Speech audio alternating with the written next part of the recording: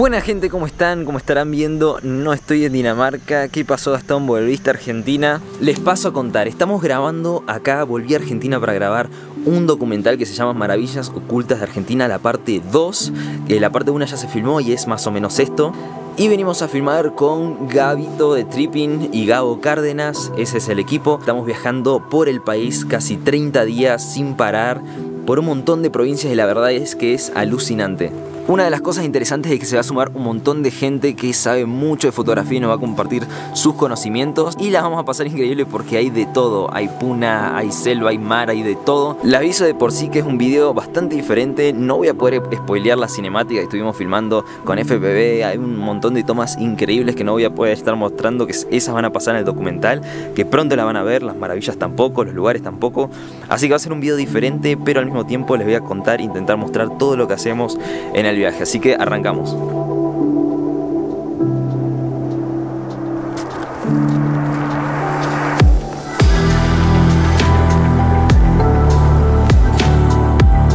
Bueno, y el tip número uno es el horario de luz. Esto parece algo súper sencillo, algo súper básico a la hora de saber cuándo estamos viajando y demás pero algo al mismo tiempo súper clave porque tenemos que tener en cuenta cuál es el mejor horario para el lugar donde estemos, si estamos en la montaña, si estamos en la playa, todos los lugares son diferentes y necesitamos diferentes tipos de luz. La más conocida obviamente sería como la Golden Hour o la hora dorada, que sería el atardecer o los amaneceres. Siempre cuando queremos sacar el mejor provecho de un lugar, siempre por lo general filmamos al amanecer y demás. En este viaje, por ejemplo, utilizamos diferentes aplicaciones para saber exactamente de dónde sale la luz y a qué hora. Esto es una cosa súper fundamental para saber y organizar nuestros horarios, cómo nos estamos organizando, para que podamos estar en el lugar exacto, en el momento justo. Llega un punto que estamos caminando y no se ve absolutamente nada. O sea, puedo ver aproximadamente 5 metros delante mío, pero nada más. Y se empieza a mojar todo.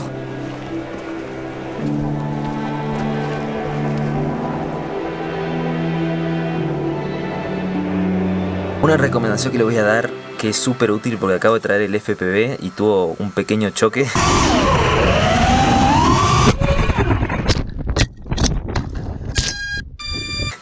y no funciona más el BTX, así que es súper importante si vuelan FPV y demás, de siempre tener por lo menos dos quad de 5 pulgadas. Por suerte tengo el DJI, el FPV, así que estamos salvados por esta ocasión. Bueno, y acá estamos arrancando el viaje con un grosso fotógrafo de Córdoba. ¿Cómo estás, Gon? Gon Granja. Él nos va a estar acompañando durante el viaje. Vayan a seguirlo a Gon, ahí les dejo el Instagram para que lo vayan a seguir, que saca unas fotos terribles. ¿Y ahora dónde vamos, Gon? Ahora nos vamos a las dunas de Tatón a agarrar el atardecer, si es que el viento nos deja. Estamos arriba de un río, literalmente arriba de un río. Dele con fe, con fe y seguridad. Vamos, Marce. No la afloje, no la afloje, no la afloje. ¡Sí, señor! ¡Sí, señor! Llegamos a las dunas de Tatón y este lugar es increíble. Una de las cosas que nosotros hacemos durante estos tipos de rodajes, donde nos alejamos mucho, volamos el dron y demás, usamos estos handys, cosa que Gabo Hola Gastón, hola Gastón. se queda a un kilómetro del otro lado y yo le voy diciendo las acciones y demás. Eso es clave.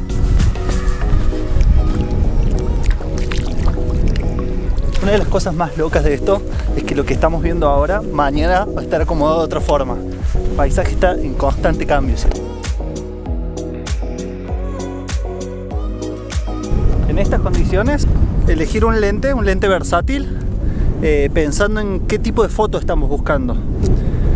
En este caso yo elegí un 1635 que puede ir bien abierto, un paisaje amplio, inmensidad también algún detalle que aparezca, algún arbusto, alguna textura en la arena. Eh, porque no se puede cambiar de lente en estas condiciones con viento y arena, es muy peligroso para el sensor.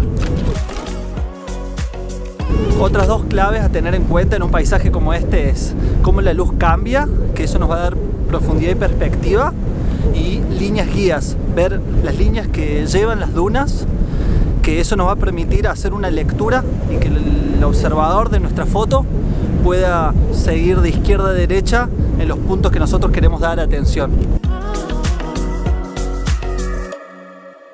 Parecieron increíbles, es como estar en el desierto, cuesta mucho respirar, es muy difícil caminar acá, pero te metes en el medio y es la sensación del desierto pleno.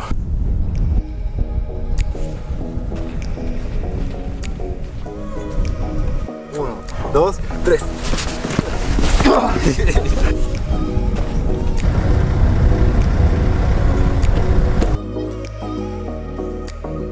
Bueno, y ahora les voy a mostrar lo que hace el equipo durante, entre comillas, el tiempo libre. Acá lo tenemos a Gabo que está bajando todo el material. ¿Cómo bajás el material? ¿Cómo haces para, para bajar todos los archivos diarios? eh? Y justo como lo acabas de decir, lo más importante es bajar día a día. Hay que organizar el material por días, sobre todo si vamos a estar varios días de, rodaje y ponemos en la carpeta el nombre del lugar en donde estuvimos y lo dividimos por la cantidad de filmmakers que hay. Gabo, Gastón, Gon, todos, todos los que estamos.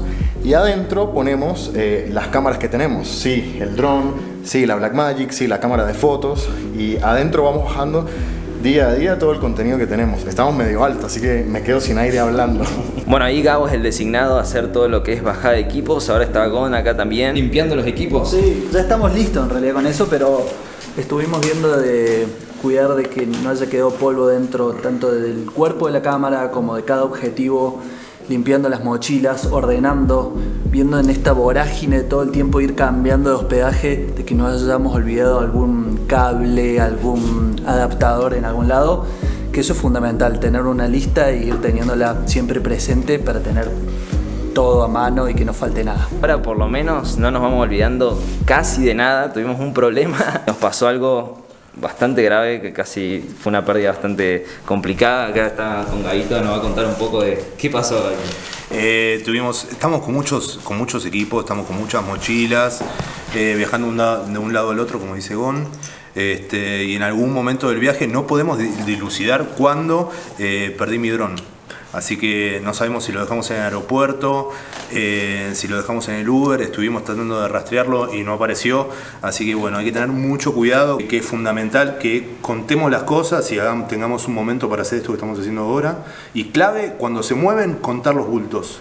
Yo personalmente intento mantener lo más minimal posible. Yo a veces llevo la cámara, a veces tengo el dron y lo, lo tengo colgado porque no quiero llevar más bultos, porque puede pasar este tipo de cosas. Pero la verdad es que la clave es la organización y que cada uno conozca el equipo del otro. Por si llega a faltar, cada uno tiene, por ejemplo, tres valijas, dos valijas y saber y estar atento entre nosotros para que no quede nada.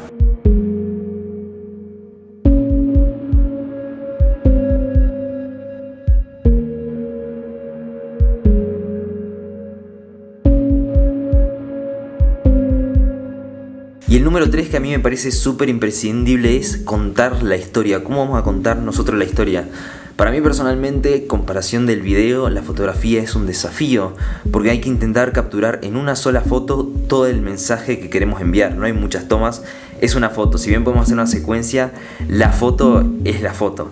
Entonces ahí tenemos que tener ciertas cosas a tener en cuenta para tener el mejor resultado y poder transmitir nuestro mensaje a nuestro interlocutor lo más eficiente posible. Yo personalmente lo que hago mucho con mi estilo es sacar fotos con angular mostrando el paisaje increíble, súper grande y lo que siempre agrego es un ser vivo a la foto, o sea, puede ser una persona, puede ser un animal, pero algo que cuente la inmensidad de lo que estuve viendo en ese momento y de lo increíble que es el paisaje. La otra cuestión es quién es el personaje de la foto. Somos nosotros, es una persona, estamos contando la historia de una persona, estamos contando un momento que vivimos nosotros. Eso siempre tenemos que tener en cuenta a la hora de disparar para ver qué estamos transmitiendo, si tiene un mensaje profundo, algo que estuvimos viviendo y demás. Y realmente creo que para mí esas son las fotos que más valen la pena. Y acá nos encontramos con un personaje que te juro que yo no pensé que me iba a encontrar. ¿Qué onda? ¿Qué haces, hermanito? ¿Cómo andas? El ¿Todo diablo bien? Charlie. Acá bien, che. Vos sabés que salí a caminar un toque de mi apache, apacheta y llegué acá, che. No lo puedo creer con quién me crucé, o sea, una locura. Después de dos años, ¿no? Después de dos años, Dos años. no- Nos cruzamos acá con este paisaje, ¿no? Mirá este paisaje. Bueno, y terminamos de filmar el amanecer que salió increíble, de unas nubes bajas alucinantes y acá estamos con una persona muy especial. ¿Qué onda, Facu? ¿Todo bien? ¿Cómo va? ¿Cómo anda eso? ¿Qué hacemos acá? ¿Qué hacemos acá? ¿Dónde nos cruzamos? Una de las particularidades de Facu, si ustedes ven en su perfil, es que la mayoría, casi todas o todas son, las fotos son hechas con celular. Primero, es una muy buena escuela. Todos a veces preguntan con qué cámaras puedo empezar. Yo que con la que tenés a mano, tu teléfono es suficiente. Una, la distancia focal fija. Como ven, estamos en un lugar que te obliga a moverte. Por ahí quizás con un lente zoom hago así, ya está. Y la distancia focal fija de los teléfonos me obligan a irme más acá, subir, trepar y ayuda al flow y al proceso creativo que es necesario.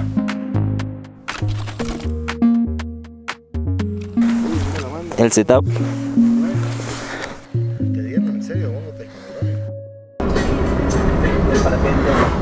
Viento que hace, amigo? Fuiste a. ¡Uy, Dios! Me tomó el viento, loco, el viento me tomó. ¿Y ese es el agua que te vendieron? Era la única que había. 150 pesos como 10 litros de agua, boludo. Y el siguiente tip muy importante es el tema de las locaciones. Como también hablamos de la luz, la locación es algo súper clave que tenemos que investigar y preplanear antes de ir a un viaje.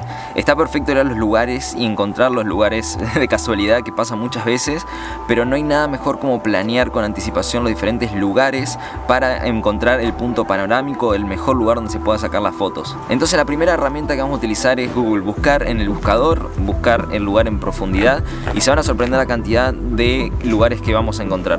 El otro es Google Maps. Hay mucha gente que sube lugares y locaciones bastante secretas simplemente buscando en Google Maps en la opción fotos y vamos a encontrar unos super lugares. También para la fotografía de dron es muy clave usar Google Earth porque vamos a encontrar una perspectiva súper diferente con los colores y texturas que podríamos encontrar para sacar tomas cenitales con el dron. Otra cosa que pueden hacer, que lo súper recomiendo cada vez que llego a un local, es preguntarle cuál es el mejor lugar y a qué hora. La gente por lo general local conoce muy bien su lugar, así que te va a decir la posta de cuál sería el mejor lugar al amanecer o al atardecer. Así que vale la pena dedicarle al principio un par de horas a la investigación, porque cuando ya estés en un lugar vas a estar más tranquilo y con más tiempo para planificar tu foto.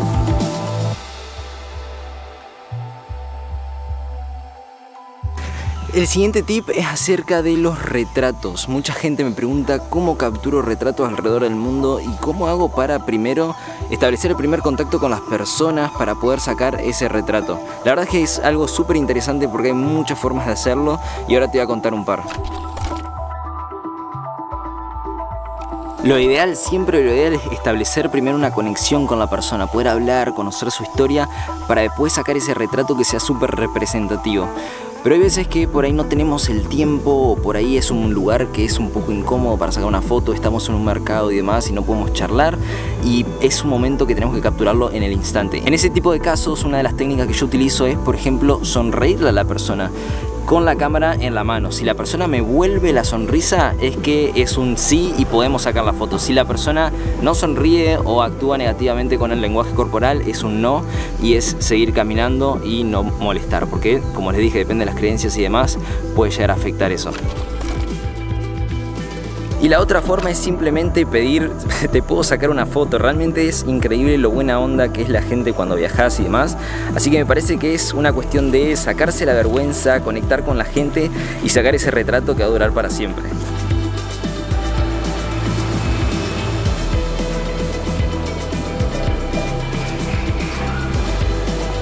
Bueno, ya estamos de vuelta entonces, fueron 13 horas desde Buenos Aires hasta Ámsterdam. Ahora tengo que esperar dos horas y es la última escala hasta Copenhague, así que el frío y Dinamarca, ahí nos vemos.